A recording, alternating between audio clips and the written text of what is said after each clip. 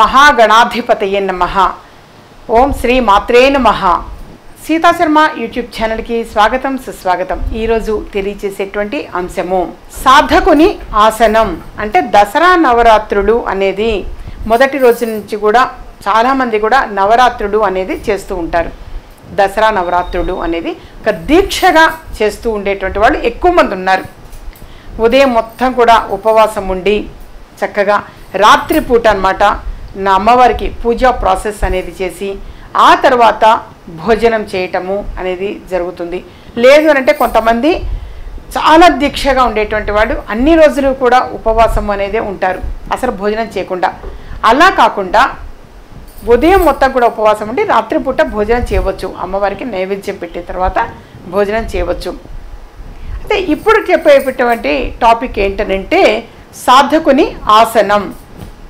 అంటే అమ్మవారికి చక్కగా మనం కలశ స్థాపన అనేది చేసిన తర్వాత లేదా అమ్మవారికి అలంకరణ చేసిన తర్వాత అఖండ దీపారాధన అనేది చేసిన తర్వాత ఈ సాధకుడు అంటే ఎవరైనా కావచ్చు ఎవరైతే ప్రతిరోజు కూడా అనునిత్యము అన్నమాట చక్కగా దసరా నవరాత్రుల్లో దీక్షగా అన్నమాట దీక్ష వహించి పూజా ప్రాసెస్ అనేది నిర్వహిస్తారో వాళ్ళు.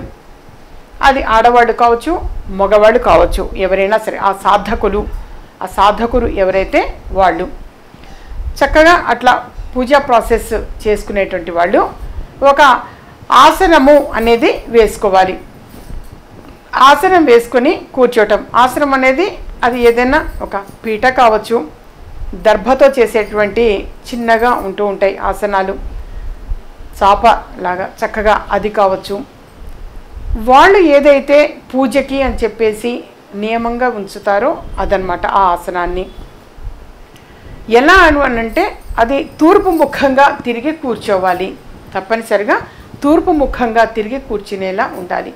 అలా కుదరలేదు అనంటే ఉత్తర ముఖంగా తిరిగి కూర్చొని పూజా ప్రాసెస్ చేయవచ్చు. అది మంత్ర జపం చేసేటువంటి వాడు కానీ పూజా ప్రాసెస్ చేసేటువంటి వాడు కానీ నిత్యం కూడా కొద్దిమంది ఈ నవరాత్రుడు మొత్తం కూడా చాలా చిన్నగా అన్నమాట హోమగుండంలాగా ఒక పాత్రలు అనేవి కూడా వస్తూ ఉన్నాయి. అందులో హోమం కూడా చేస్తూ ఉంటారు. అలా చేసేటువంటి వాళ్ళు కావచ్చు దుర్గా సప్తసతి ప్రతిరోజు చదివేటువంటి వాళ్ళు కావచ్చు. ఈ విధంగా ఏంటంటే మనం ఆసనం టాపిక్ అన్నమాట.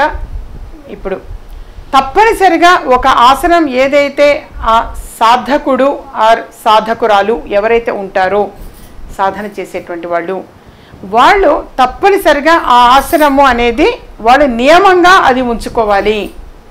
ఎక్కడంటే అక్కడ ఏదంటే అది తీసుకొచ్చుకొని దయచేసి కూర్చోవద్దు. ఇది ఇంపార్టెంట్. బేసిక్ నుంచి కూడా ఈ నవరాత్రుల గురించి ఈ కార్యక్రమంలో తెలియచేయడం జరుగుతుంది.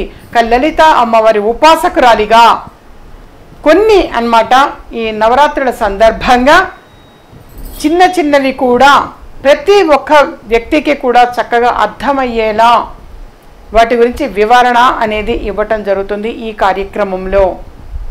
Sita Sharma YouTube channel subscribe చేసుకోండి. అలాగే మరికొంతమందికి షేర్ చేయండి. ఇలాంటి మరిన్ని ఇంట్రెస్టింగ్ వీడియోస్ చూడాలనుకుంటే మా ఛానల్ని సబ్స్క్రైబ్ చేసుకోండి. పక్కన కనిపిస్తున్న ఈ గంట సింబల్ని ప్రెస్ చేయండి.